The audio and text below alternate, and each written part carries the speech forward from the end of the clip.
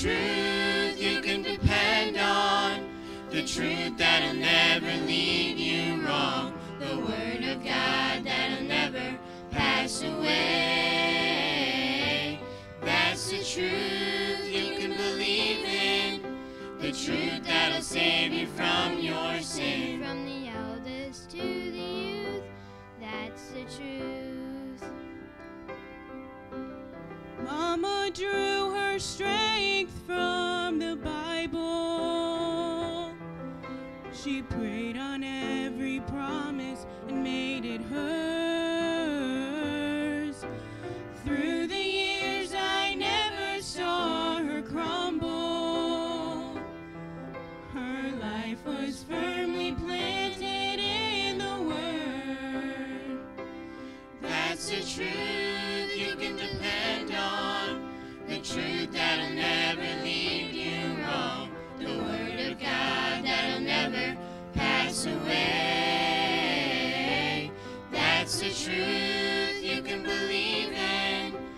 Truth that'll save you from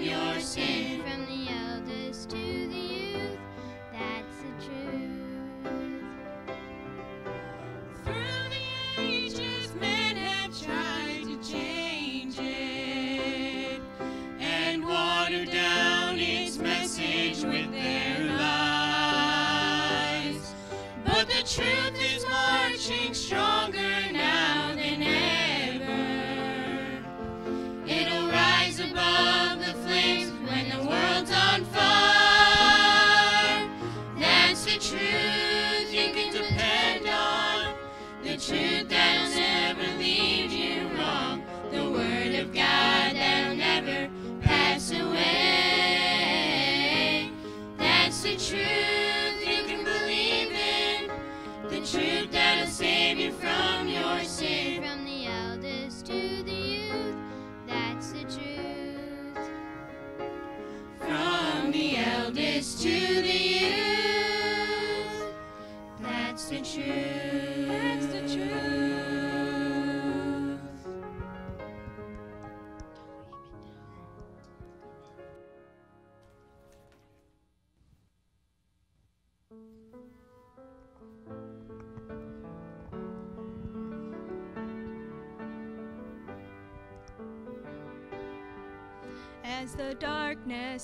closes in on this world full of sin, look around you, not many are left standing.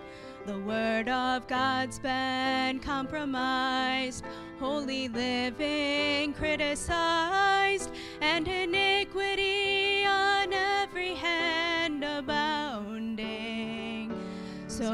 if you have a place to go where the old stories being told, and the man of God will preach the word with power. Don't forsake it, my friend, as we're nearing the end, for it's the strength that you need for this hour. You see the day approaching. So much the more as his coming is at hand. You need the church and the saints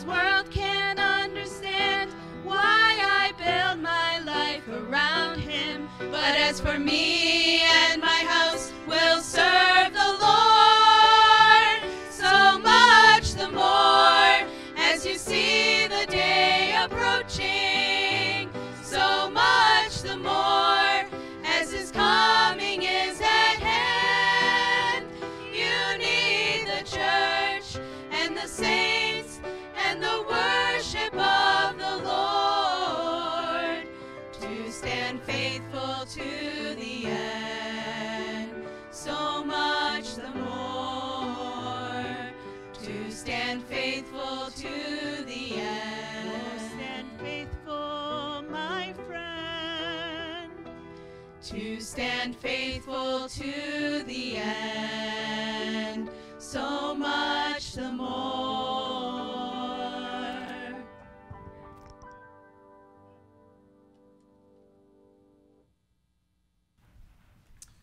Well, Brother Winstead is going to come and preach. Uh, Pastor Winstead will preach, right? And it's good to have him. I appreciate his passion during this time. He really has been passionate. He's kind of a, you know, some might think a quiet person, but he's really not. Uh, he's a professional protester now. I'm just joking with him. Says he's on the news and things like that. Uh, but he's been a real blessing, and I, I appreciate him. And so uh, he's going to preach. And then, Brother Winstead, make sure that you take the invitation time. Piano player, you come up, and let's have a little time of just quiet and meditate and uh, just talk with the Lord a little bit, and then close out the service for us. All right? Well, I'll come up and do the final prayer. How about that? All right. Thank you.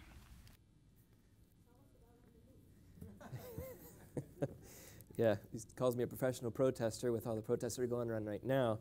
That really should be clarified. I gotta say. oh, my goodness. All right.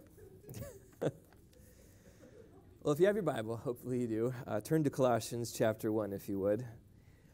Uh, I, I have had so many thoughts going through my mind for so long, and it's really hard to try to condense it down to something uh, coherent, for one, uh, but then also something that uh, is organized and um, a challenge. And I think one of the biggest problems is that I've got so many thoughts going through my mind, and I pray you know, and talk to God about them all. And there's just a lot of questions that I have. I think we all have a lot of questions.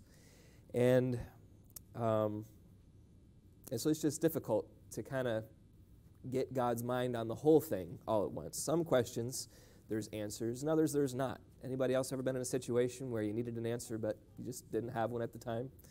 I've been in that circumstance a lot in my life. It seems for some reason that God likes to keep me there for whatever reason, I'm not sure, but I know that His will and His way is the best.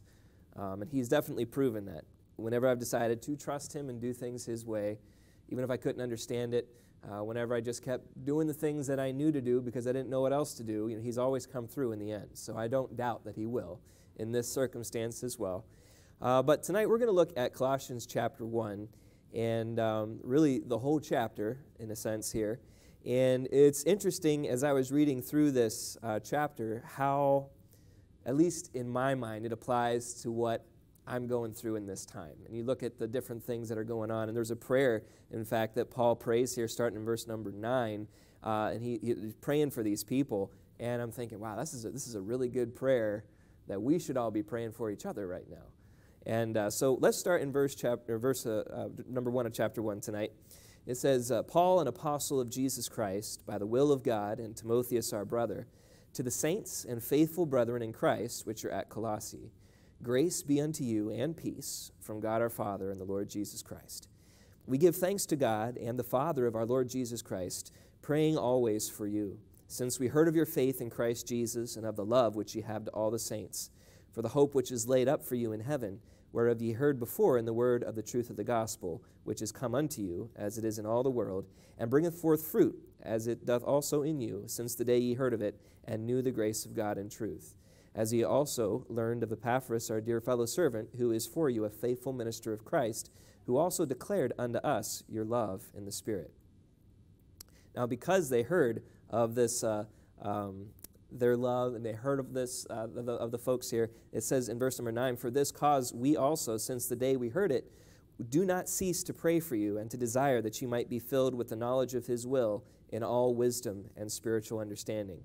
And isn't that a good prayer to pray right now? I mean it's always a good prayer to pray but he says they're not ceasing, which is a good thing as well, not ceasing to pray for these folks. And what are they praying? That they might be filled with the knowledge of his will and all wisdom and spiritual understanding.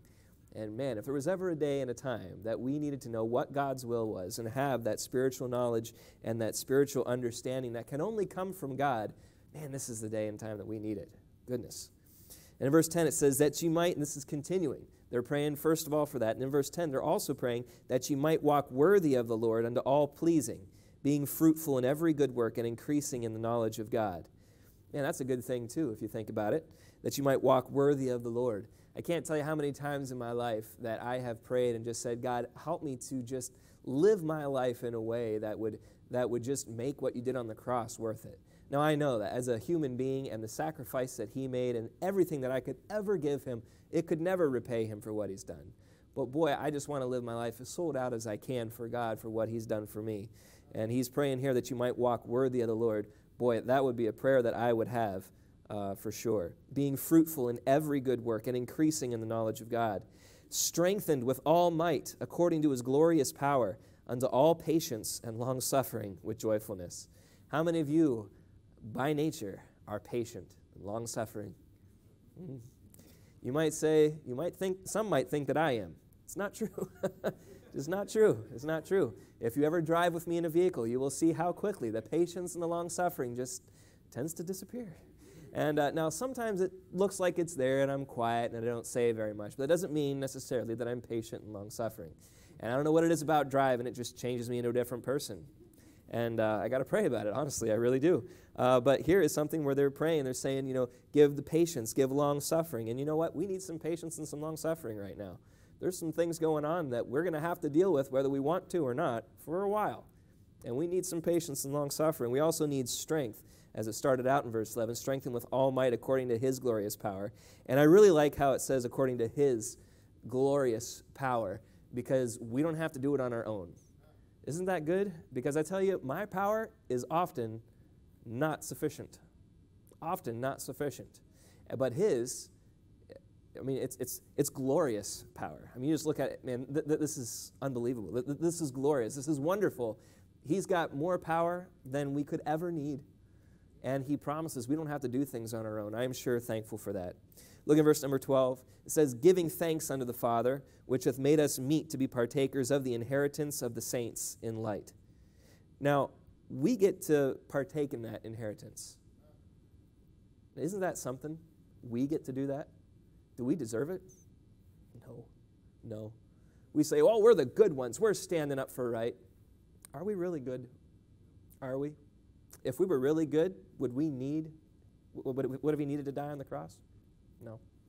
But we get to be partakers of that inheritance. You know what? No matter what is going on in the world around us, we have a lot to thank God for. We have a lot.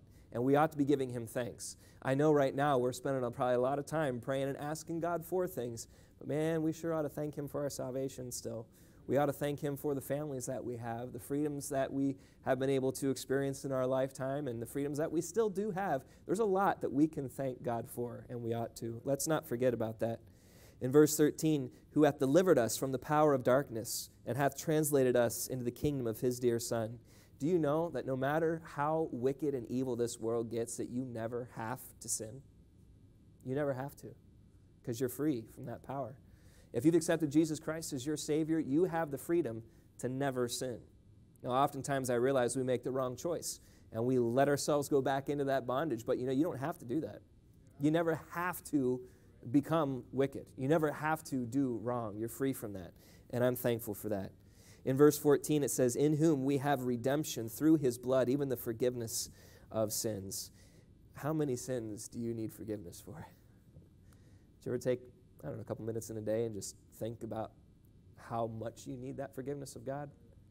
Now, we don't want to dwell on the things that we've done wrong because God doesn't condemn us. If you're saved, God says, I, I, I, haven't come into the world to condemn the world, but that the world through me might be saved. So we don't have to spend time condemning ourselves for the sins that we have committed. But did you ever think about just how much He's forgiven you for?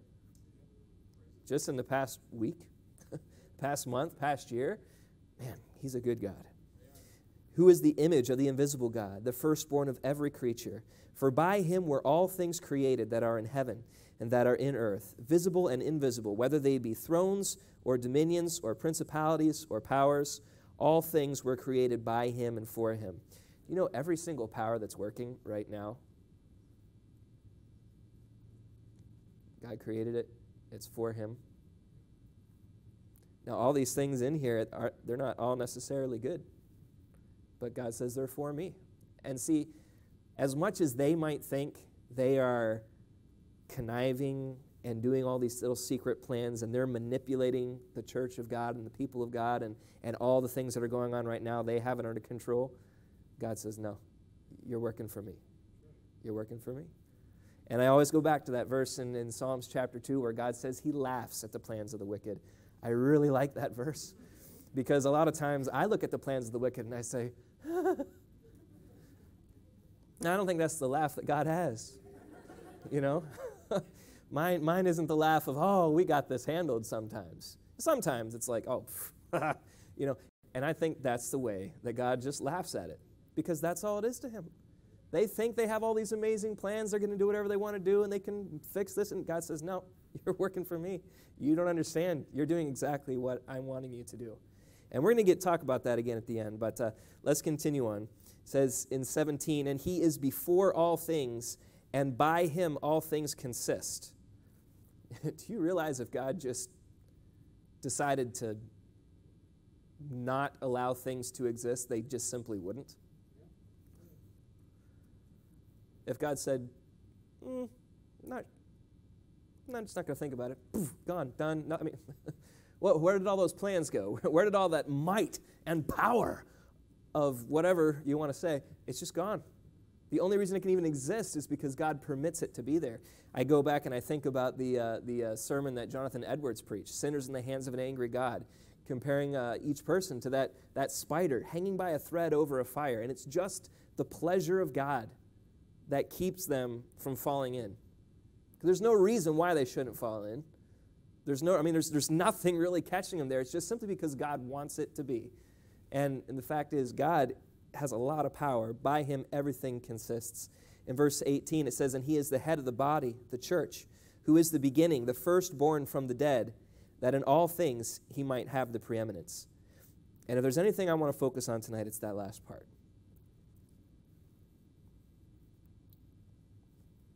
that in all things he might have the preeminence.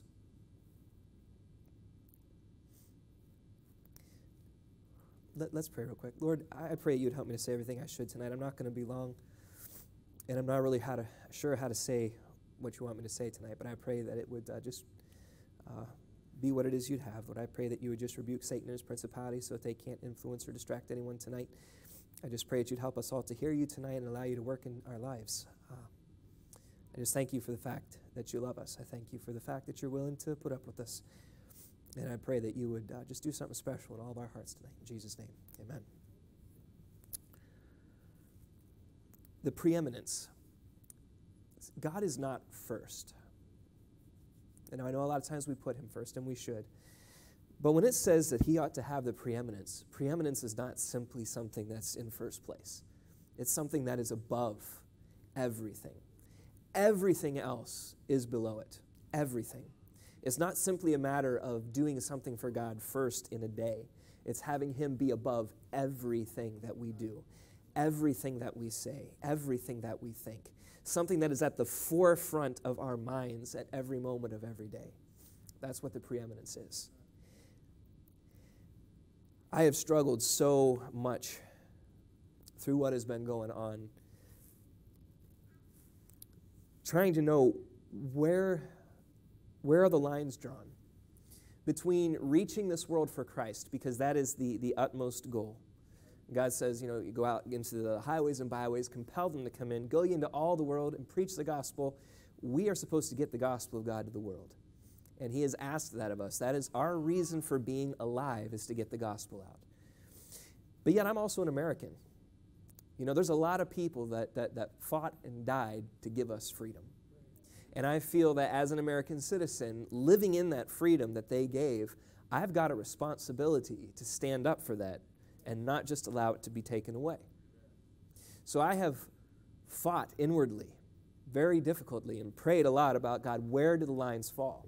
Because if I carry my freedom fighting as far as I would want it to go, well, doesn't that hinder then my ability to reach certain groups of people because of my attitude toward certain laws that have been put out? And so I have prayed and prayed and said, God, where, where do my responsibilities fall? I want to do right by you. I also want to do right by my country. Now, again, going back to that thought of what do you do when you don't know what to do. Years and years ago, I thought I had my life planned out. Actually, years and years and years and years ago. So I got to add those on. I thought I had my life planned out. And I was doing things, and I thought I was serving the Lord. I thought I was doing what I was supposed to do, and I wasn't doing wicked things. I wasn't living my life, you know, for myself. I, I thought I was living for the Lord. But I went to a conference, and God talked to me about some things. Every night of that conference, He was saying, You need to do this. You need to stop doing this. You need to double this. You need to get on board with this. And every night, I just, just felt like, man, I, I really got to make some steps in my life, change some things, get closer to what God wants me to be. But at the end of the week, I still felt like there was something deep inside that God was saying that He wanted, but I didn't know what it was. I felt like something wasn't right, but I didn't know what it was. I didn't know what He was asking. Every night it was clear, but the last night it felt unclear. I felt like I wasn't where God wanted me to be, but I'm like, what, I, what do you want? And uh, nothing happened during the service, nothing happened afterwards. And, and so I, I get back to, to the house that we were staying at, and, and I start to pray. And I said, God, I'm not trying to hide. I'm not trying to lock my heart off from you working on it. I just need to know what do you want? And God brought a thought to my mind this. And uh, well, just it, it was college.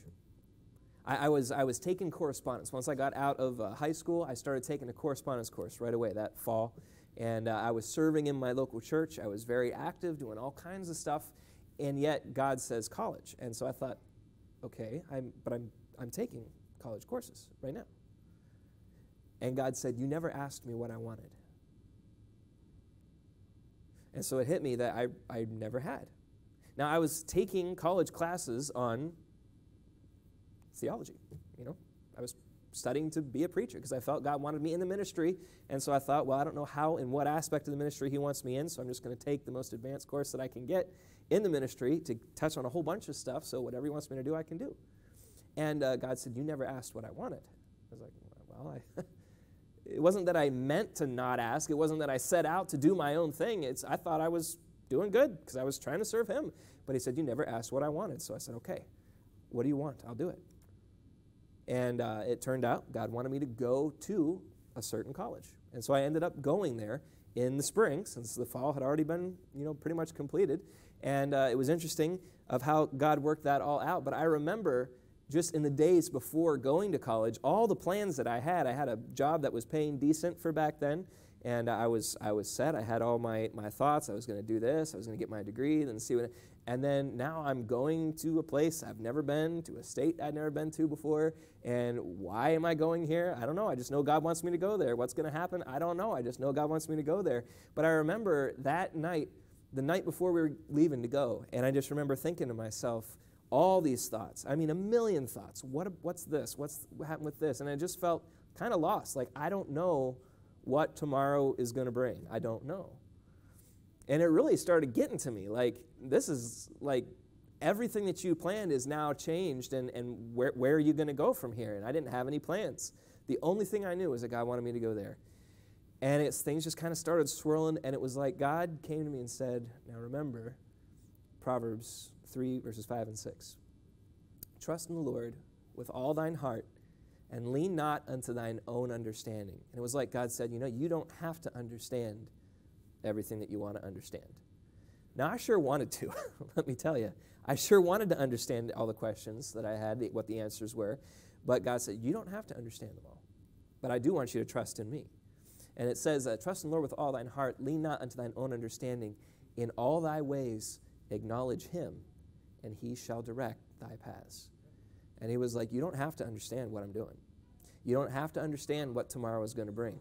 All I ask is that you trust me and that in all your ways that you know how, just acknowledge me. Give me that preeminence, and I will direct your paths. And let me tell you that he has. Every time that I have trusted him and allowed him to have the preeminence in my life, he has directed me. Now, there's also been times in my life I've done things my own way and I paid for it. I'm sure we can all attest to that if we're honest. But the fact is that if we will trust in the Lord and allow Him to do whatever He's doing and just acknowledge Him in every way that we know how, then God will direct us. Do I have all the answers for what I'm going through right now? No, I don't. But you know what I plan on doing? I plan on trusting God.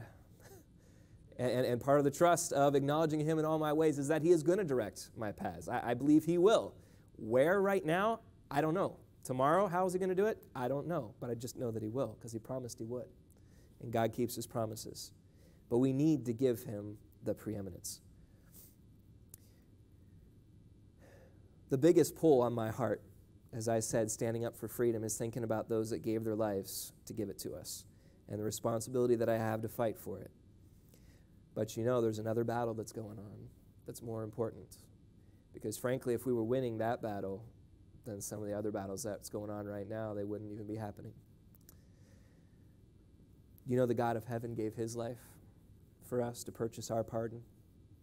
And again, our pardon. Because in the story of this battle, we aren't the good guys. You say, well, I, wait, I, I believe in God. I'm a Christian. Do you realize that your sins and mine crucified him? We're not the good guys. Every one of us, if we got what we deserved, we would be in hell. And the fact that we get saved, it doesn't change what we deserve. Do we understand that? I don't think we do sometimes, and myself included. I think I go through my life thinking, oh, I deserve heaven, but I don't. And it's, it's a shame for me to think that. Now, it's a free gift from God, and we can rejoice in that. So I don't want to say, you know, go around, you live your whole life depressed. And God doesn't want that either. He wants us to be able to rejoice in that salvation He's given. But we ought not think that we deserve it. We don't want to kid ourselves. We crucified Him with our sins, with our complacency and our silence in this spiritual battle. You know, it seems that the amount of time and energy that we invest in a cause is directly related to the amount of responsibility that we feel for it. How many of you feel like you are responsible for your family? Dads? How many of you are going to do whatever it takes to put food on the table for your family because you feel like great responsibility for that? Or moms, or whoever. There's a big responsibility there. How many of you have a job and you feel the responsibility that comes with having that job and being there when you're supposed to be there, when the schedule says it's your time to work? Or if you're taking college, classes and you know you're, you're paying for that, that learning and you've got that responsibility to go and, and get that learning the responsibility that we feel about something that really determines what we're going to do about uh, that particular cause. And so again we need to think about how much christ has forgiven us for. Because i don't think in my personal life that i fully understand the responsibility that i have to invest everything that i have in the cause of christ I think if I did have a full understanding of that responsibility, I sure would have done a whole lot more with my life up to this point. Something that has been a great conviction on me throughout this whole thing is God says, Oh, yeah, you're inspired to fight for your country? Well, are you inspired as much to fight for me? And shame on me if I would stand up more for my country than I would for my God. Because my country consists and exists only because my God has pleasure in it. And God set up America, and God could let it fall tomorrow.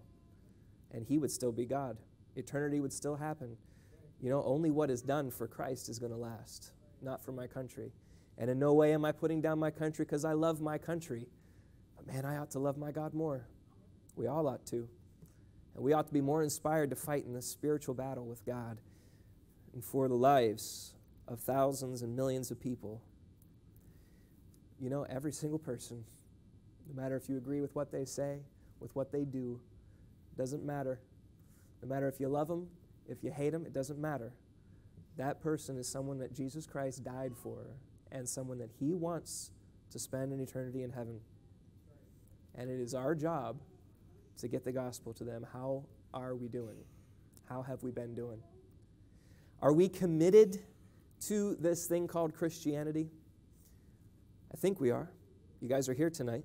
Some people can't make it, some people chose not to be here, uh, some people wouldn't come.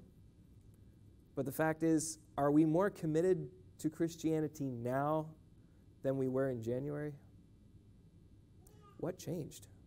Why weren't we this inspired to fight for God and stand up for God back in January? What changed? We need to take this serious. We need to be real, as Brother Colson says. Just be, be real. Be, be a true Christian.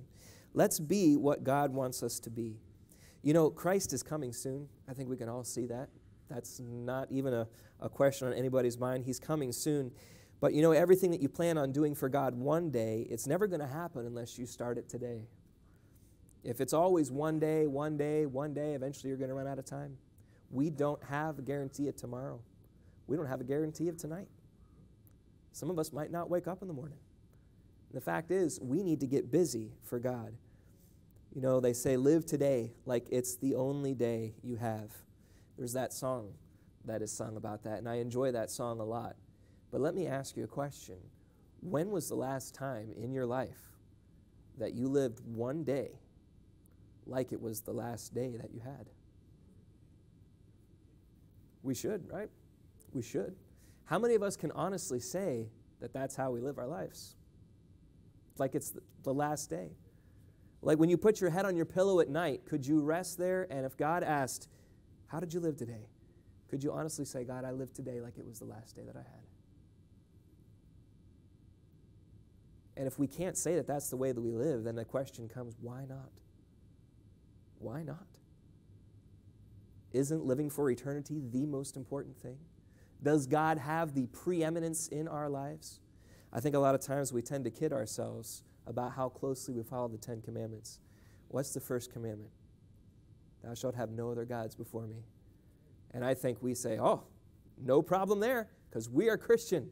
We are independent Baptist Christians, and we believe in Jesus Christ and that He died on the cross, and we've asked Him to be our Savior, and we are on our way to heaven. Well, you, you can have all that and still have other gods before Him. And I'm afraid if we honestly looked at our lives, we would find many different gods throughout a day that we put in a higher position than God. God doesn't have that preeminence, but He ought to.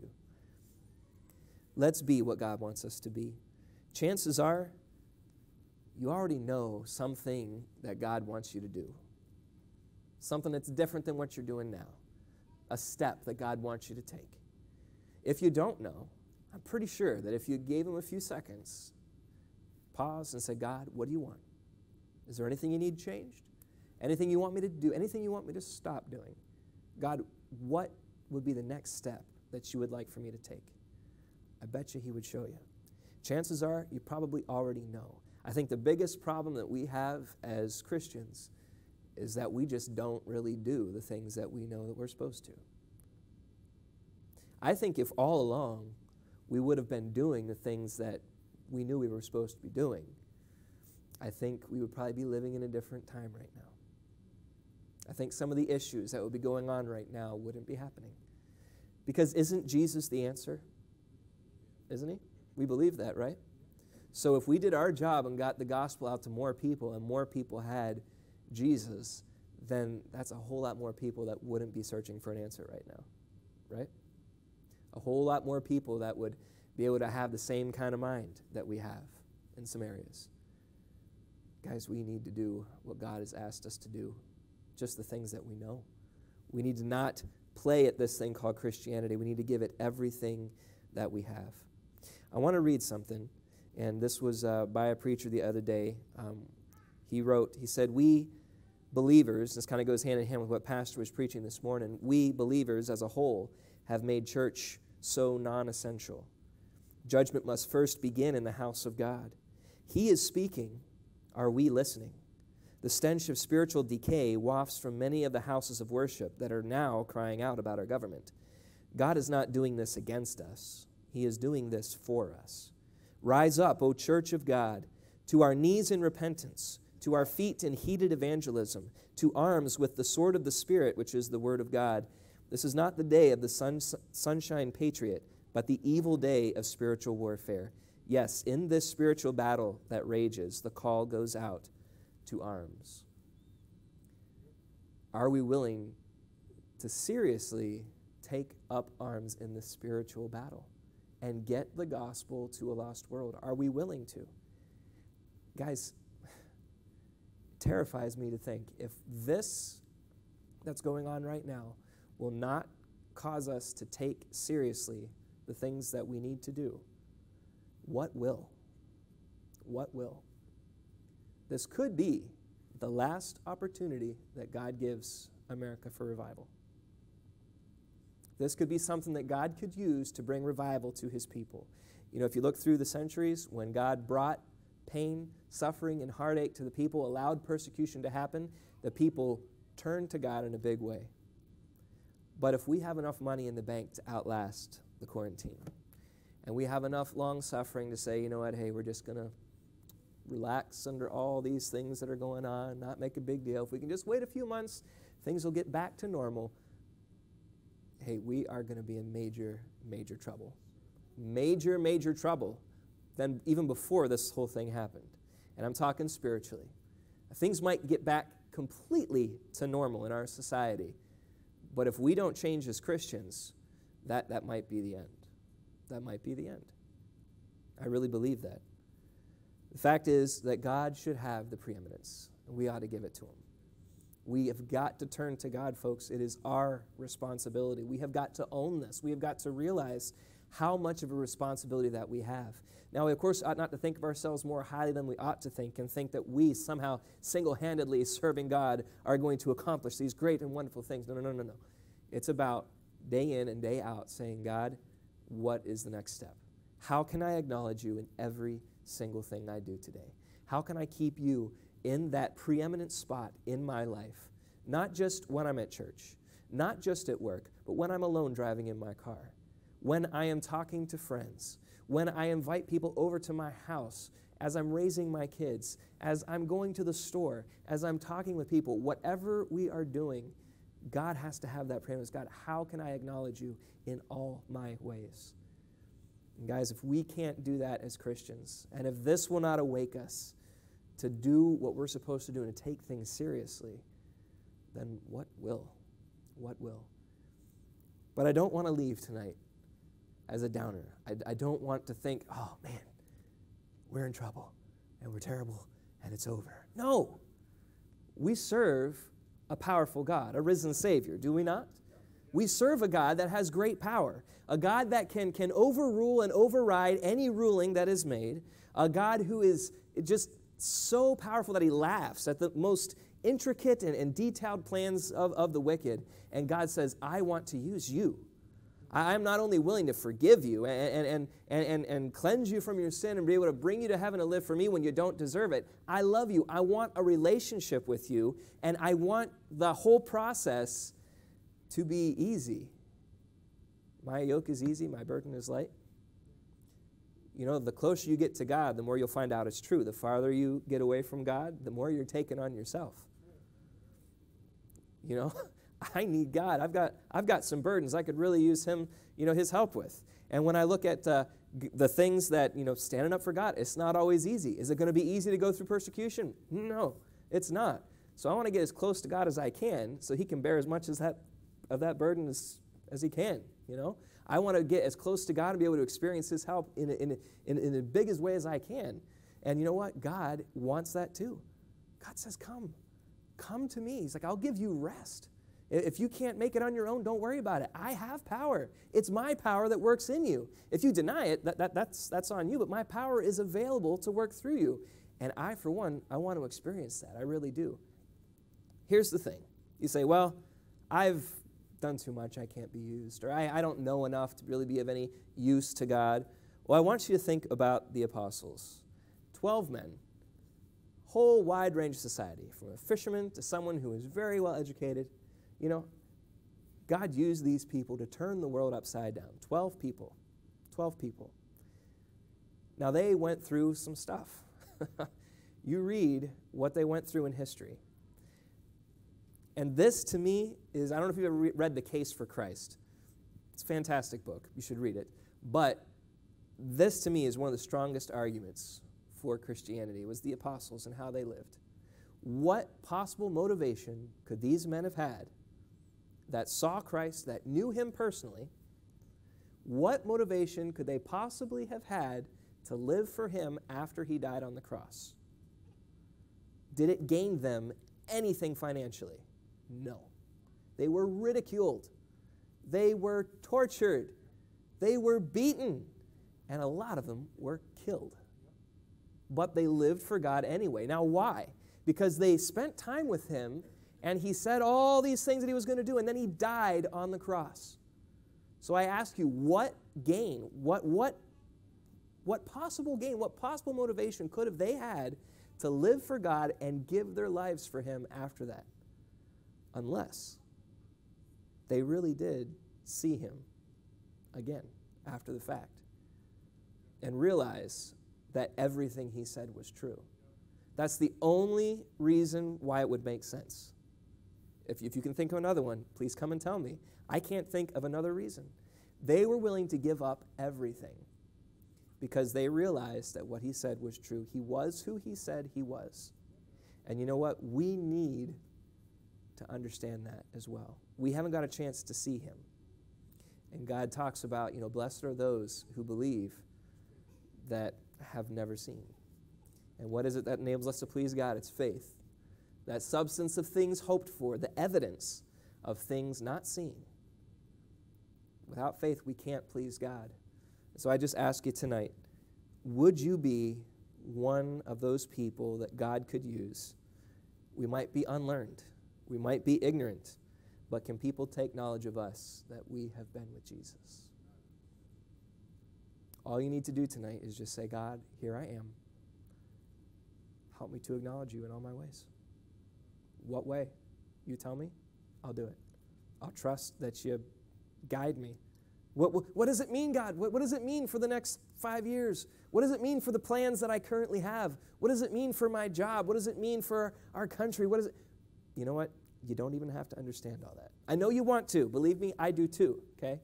But just trust in Him. Acknowledge Him in all your ways, and He will direct your paths. And with the God of heaven directing your paths, you know that you're going to end up on the winning side. Isn't that awesome? Let's pray. Lord, I thank you for the opportunity that we have tonight to uh, be here, and I thank you for each and every person that is here. Lord, I pray that you would work in all of our hearts. Lord, as I said before, Lord, I, I bet you that probably the vast majority of us here tonight, we already know what you want us to do, that next step that you want us to take. And uh, Lord, I pray that if there's someone here that maybe just hasn't taken time to thought about it or to think about it, like I did, Lord, at one point, and I just say, God, you know, what is it that you want? Lord, if we just haven't taken the time to ask you what you want, I pray we do that tonight. And then, Lord, I pray that you would help us to live like this is our last day. It might be. We don't know. Lord, I pray that uh, we wouldn't go back to how things were. I pray that we would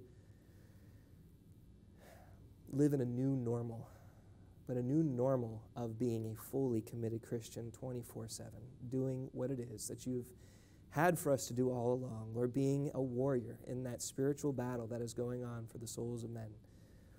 Lord, I pray that we depend on you, that we wouldn't try to do it in our own strength. And I pray that you would give us wisdom and guidance as we go along. But Lord, help us just to trust you and just allow you to guide our paths. Help us just to be able to have peace in knowing that you have power, and that we don't need to fear because you're with us. But Lord, whatever it is that you'd have us do tonight, I pray that we would just yield to you and allow you to work in our hearts the way and lives the way that you see fit. Let's go ahead and stand.